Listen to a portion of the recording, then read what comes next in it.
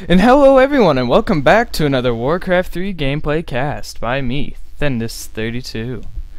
I know what you're saying, it's been a while and yes it has. But thanks to a friend of mine I have got OBS working. And you may notice something new to the channel, I added an overlay. That way you can't see when the game's gonna end, just to make it that much more surprising. Alright, let's start casting these players. Spawning as the red human, we have Thu. Thu Old Man is pretty well known around the Warcraft 3 community. He's one of the best and only pro random players that I know of. And his opponent. Spawning as the blue undead, we have ZDR. ZDR is also well known in the Warcraft 3 community. I have checked, so I know these names are correct. This game was taken from the WCA Cup, which I'm sure you've seen already, but due to technical issues, I'm a little late.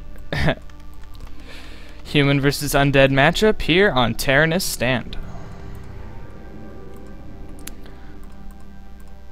Looks like we got the old DK Fiend build for the Undead, and we got the standard Archmage Footman build from the human player. Very nice. I like this overlay. I like this overlay indeed. It was quite easy to put on. I thought it'd be much harder to put on than it was. But I was wrong.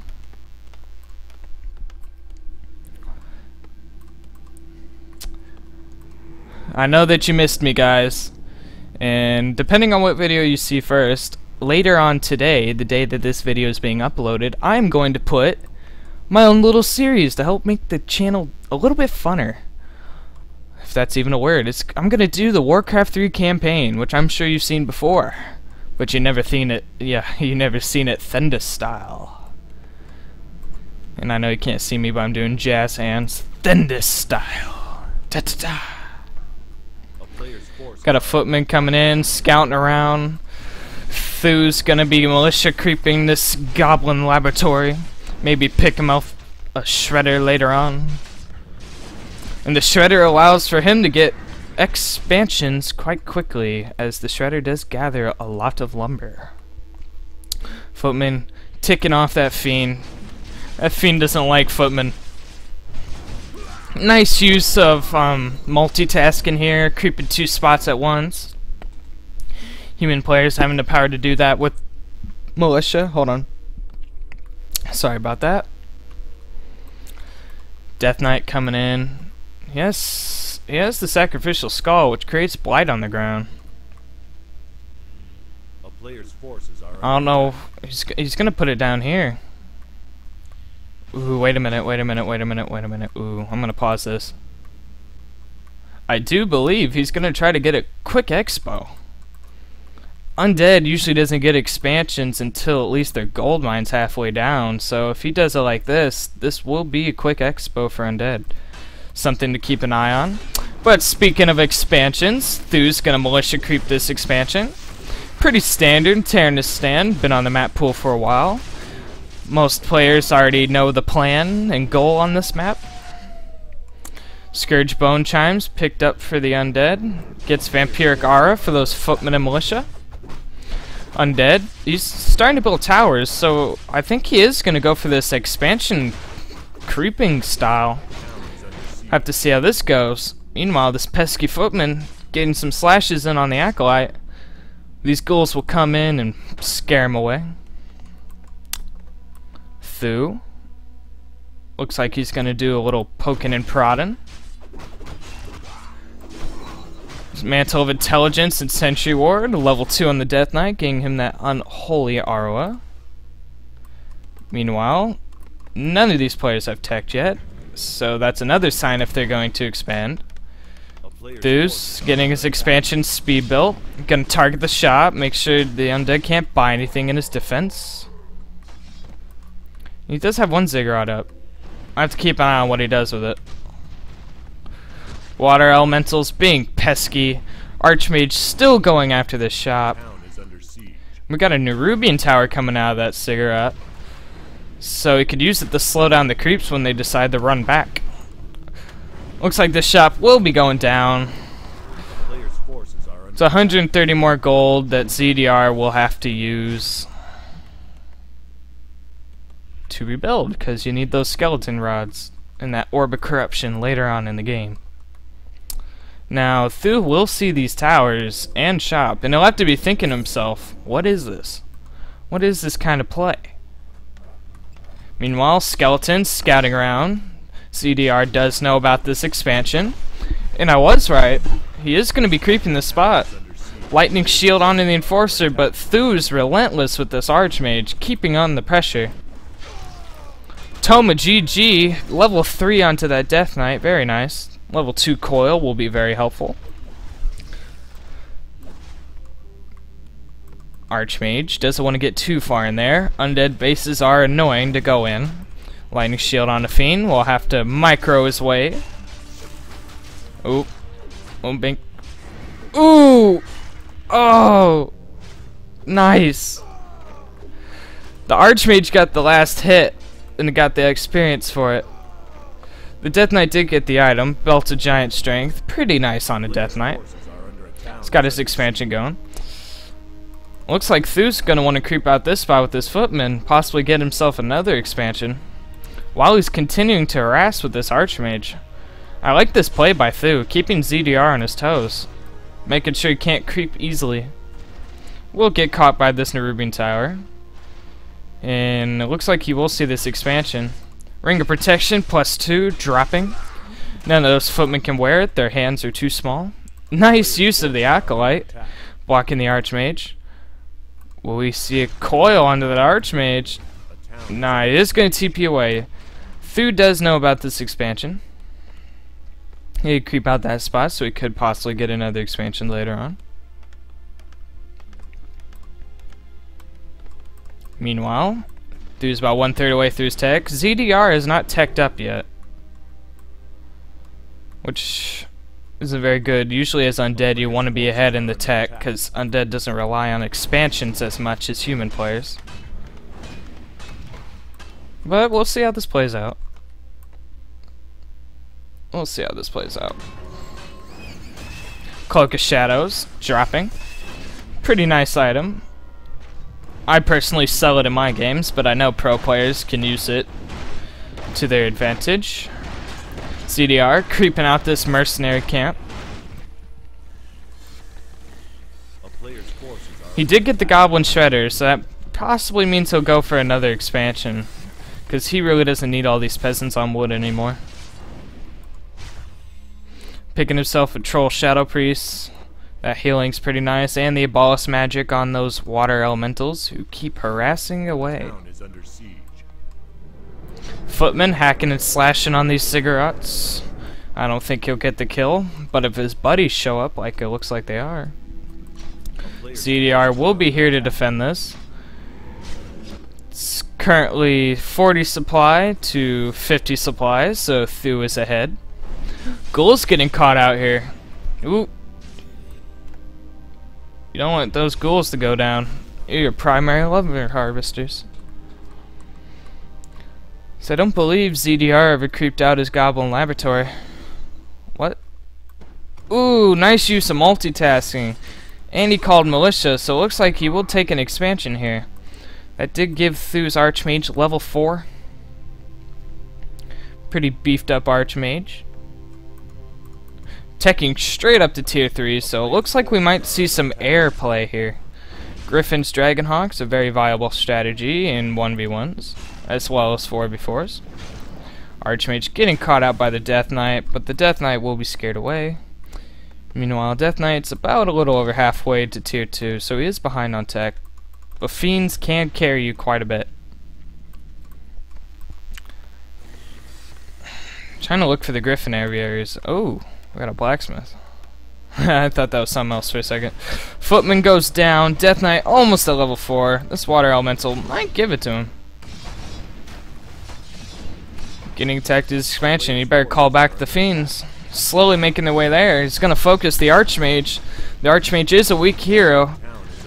The shop will go down. Oh, oh my god. Oh, I missed it. Okay, Okay. I'm so sorry. Thu must have bought himself some goblin zappers. And they came in and blew up these two ziggurats. I, I heard the noise of a dead zapper and I saw these two towers getting destroyed. Sorry for missing that, folks. As you know, there is no rewind in Warcraft 3. Archmage, Staff of TP, Death Knight probably could have coiled him, but probably focused on other things. His footmen now have defend, so these fiends do less damage. Level 4 onto that Death Knight. Now is himself that level 2 aura.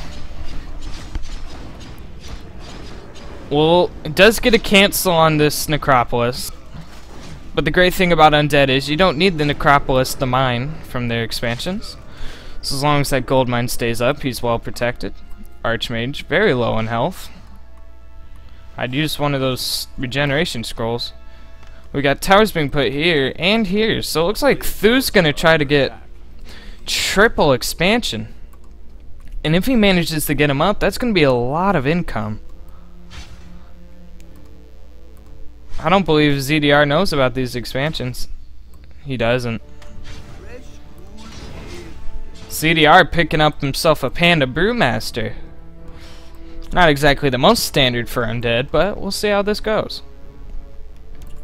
Pro players can pretty much do anything they want and get away with it. Current upgrades is 1-0 versus 0-0. Creeping out this mercenary camp and the human player is moving in. We got we got two workshops coming in, so I guess we won't be seeing griffins and dragonhawks. Looks like we might see a tank play, which is very effective against undead. Undead doesn't really have a great way of getting rid of those tanks. Them and Night Elf. The best race to take care of tanks is humans and orcs. These towers will relatively be up soon, making it easier for ZDR to defend. Panda and the Fiends coming back in, but it looks like Thu's gonna back off. Thu knows what's smart. ZDR cannot get that Necropolis up. Gonna creep out this green spot. I did miss this, but Mountain King is the second hero, but what else would we expect? Might even see a Blood Mage as the third hero choice. Or a Paladin. It is undead. Did ZDR knows about this expansion. I don't think he knows about the bottom one still. But there's plenty of towers to keep this defended. But Fiends shred through these towers. It's not even funny how much they shred. Meanwhile, the human player is going to try to cancel this slaughterhouse. And I think he'll be able to do it. Undead forced to back off here. And it looks like he will have to cancel his slaughterhouse, delaying his tech. And we got a Lich as the third hero choice for the Undead. Lich with that Orb of Corruption is just so deadly. Just shreds through things. Undead is here. Breath of Fire being used. Level 2 on the Panda. Stormbolt being used on the Panda. That Mountain King's in a dangerous spot. Looks like he will be able to get away. These ghouls getting harassed a little bit. And Thu continues to go. I want to see what he's producing. I believe it will be tanks. One expansion going up, two expansion. Thu will have a lot of economy. 48 supply to 50. So ZDR is ahead. And I believe he's ahead by a lot, because a lot of that supply is in workers. And he has double shredder. Thu's going for a macro game here. It's almost like StarCraft or something. ZDR gonna creep out his Goblin Laboratory. Gloves of Haste being dropped. Not the greatest of items, but it's not the worst. If you put on a Lich with the Orb of Corruption, you'll be able to spread out easier. Thu, I love these water elemental harassments. It's keeping him on his toes. Archmage is gonna get caught out here. He's gonna staff and TP away, boy, get away. Ooh. That panda would have got his breath off. That would have been awesome. Surprisingly, the Orb of Corruption is not on the Lich. Oh, there it goes. Okay, just checking. Slaughterhouse now being produced. is very late. Greatly late. Thu is a double, triple expansion, and he still has his main gold mine. His income has got to be beastly. 2,000 gold versus 2,000 gold. Wow. Way to make me look like an idiot. Food supply is currently 53 versus 48. ZDR did go in a high upkeep.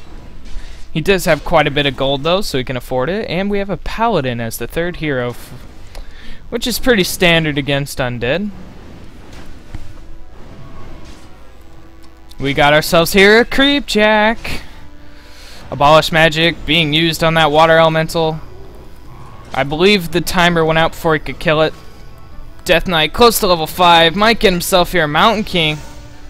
Holy Light being used. And the Undead Nuke. Stormbolt being used.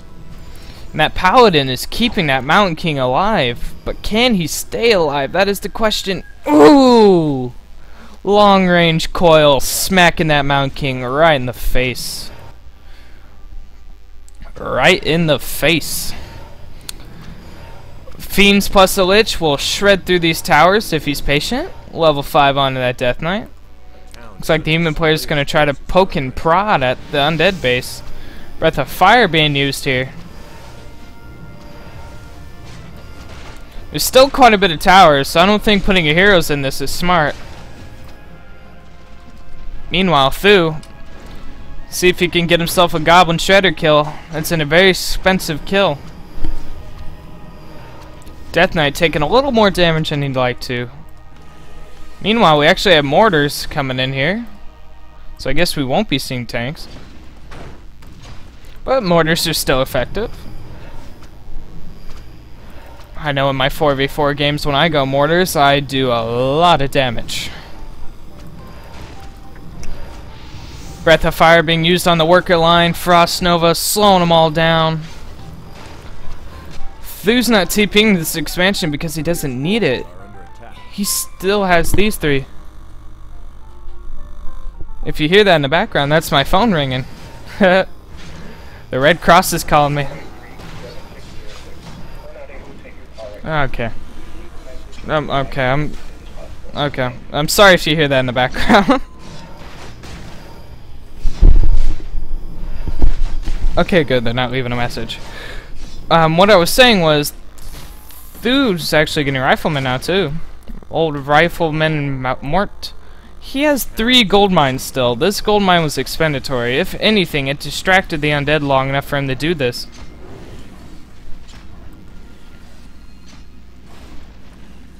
I'm, I wouldn't even be surprised if he bought some more zappers. Paladin getting caught by that pesky Nerubian tower. The Death Knight used the Staff TP to get back, and the Archmage will get away. Level 3 onto that Panda. Level 2 on the Lich. Level 5 on the Death Knight. Versus level 1. Level 2. Level 4. So about even hero levels. We even have a cannon tower. How often do you see those? Almost forgot they existed.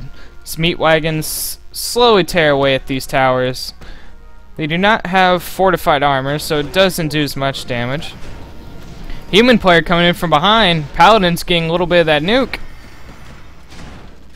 I think using vulnerability pot Obsidian Statue getting caught, and those mortars in the back are doing so much damage. Even the Goblin Shredder's being pulled back here. Paladin does go down, but this doesn't look like a good fight for ZDR. Invulnerability pod onto that Lich. It looks like the Undead will have to back off here. Abominations coming in. And the Destroyer upgrade. Nice use of the mortar range. Smacking that expansion over the river. Doing the slow siege trick.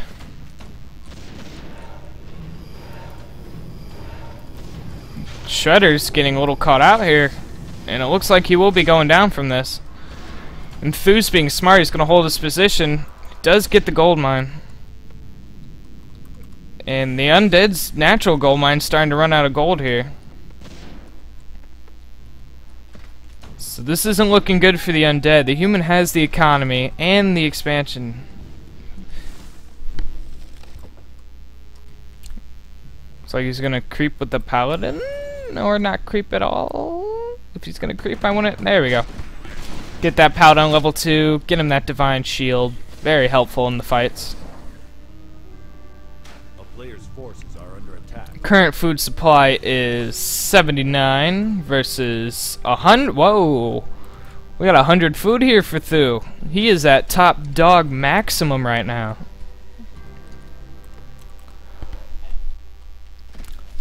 And we'll see how this goes. Mortar fire is being used on the slaughterhouses.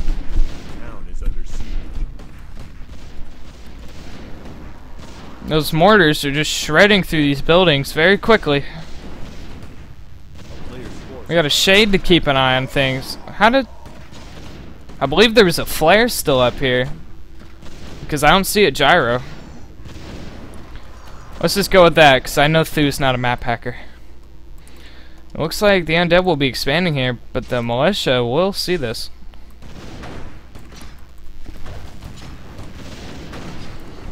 The undead's gonna need a miracle in order to fight this. He does have banshees in the play now, and he's getting the anti-magic shell, keeping him away from that stormbolt and holy light. And we got ourselves here an engagement. Roar being used here. The Undead's gonna need every little buff he can get. That Plague's doing wonders, but the Mortars are getting the Destroyers. Holy Light's going down. I hear Mortars. Divine Shield on the Paladin. It. Panda. Ooh. Panda goes down. The abolish. The magic shields are starting to wear off. Lich is getting a little low here. ZDR will need a miracle for this. Meanwhile, this Goblin Shredder is slicing and dicing these Acolytes.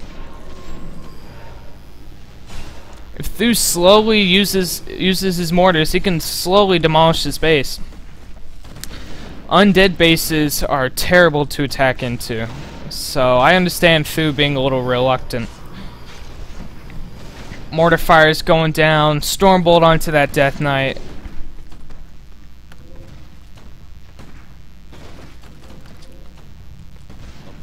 ZDR is going to need some great micro here.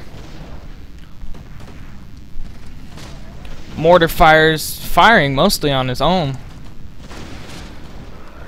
Nova being used. Coil onto that abomination. He cannot afford to lose any units.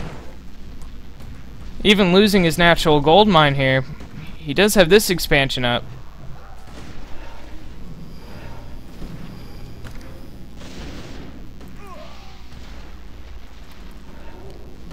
ZDR's holding out nicely for his situation, that's for sure. Thu's being extra cautious here. It looks like he doesn't want to push into this. He will be backing off, giving ZDR a chance to breathe. Nova being used, picking off some riflemen, level 3 onto that Lich. Ooh, but he's getting caught. Divine Shield being used on the Paladin. And the Undead's gonna TP away. That wasn't good at all for the Undead. It looks like this expansion won't be lasting much. We even got the long rifle upgrades. Current is 3-0 with 3-0 upgrades versus 3-1. Food supply is currently 39 versus 99. So, ooh, nice picking off the mortars. You do not want to lose those mortars as they are quite expensive.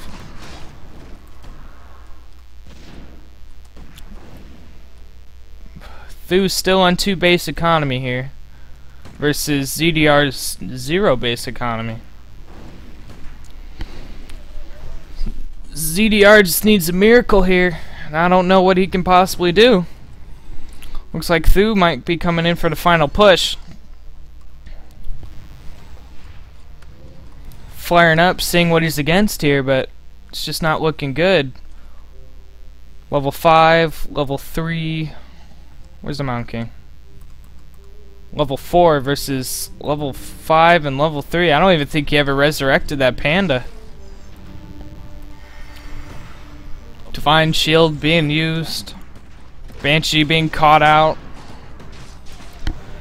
ZDR has no choice but to fight this. But he's fighting uphill, and it's a very steep hill here. Ghoul's going down left and right. Death Knight very close. And ZDR calls GG. Very nice play by Thu. Getting those bases early on, securing that economy, and keeping ZDR contained. I like that play. That was a very nice play. If you like this video, subscribe to my YouTube channel. If you want to watch me play Warcraft 3 on Twitch, follow me at Thendis32, and I'll be seeing you around.